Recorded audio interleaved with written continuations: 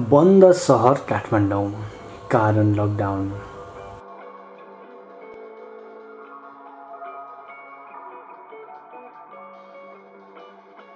कहिल्यै खाली नहुने यो स्टेपहरूमा आज महिनौ भयो कसैले पाइला नराखेको।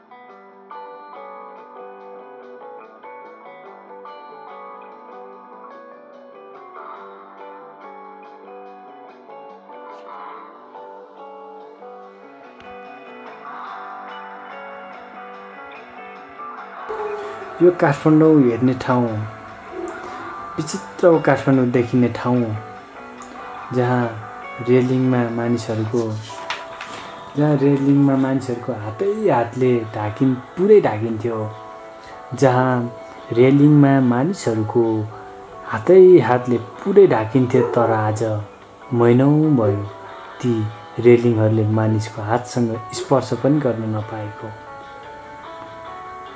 आज मात्र छ एक सुन्दर दृश्य बिना मानिसको। आज खाली शान्त रमाइलो वातावरण बिना होहल्ला बिना प्रदूषण मात्र मनमोहक दृश्यहरू। मात्र मनमोहक दृश्यहरू। फाटफुट गाडीको आवाज तर हराभरा काठमाडौँ हेर्दा लाग्छ विश्वको कुनै पनि सुन्दर सहरहरूको टुकडी जस्तो शान्त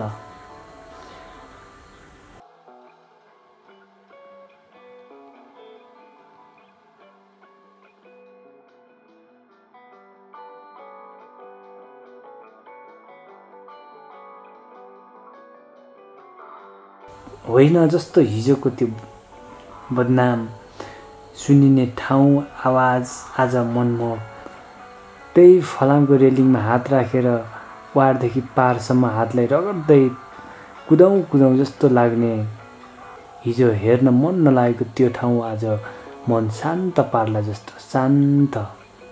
वरिपरिका दृश्यहरू पनि त्यस्तै छुट्टै सहरमा पाइला टेके जस्तो।